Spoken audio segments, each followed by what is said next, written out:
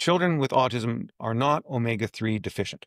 In fact, they actually have higher levels of DHA than non autistic children. That's why I don't recommend omega 3 as a fish oil or an algae oil by itself in autism. It does have anti-inflammatory effects, but that's it's also stimulating. The omega-9 supplements are important at the beginning of the autism developmental process. But then when you want to stimulate nerve growth, that's where the omega-3s come in, and specifically the omega-3 plasmalogens, they stimulate neurite growth.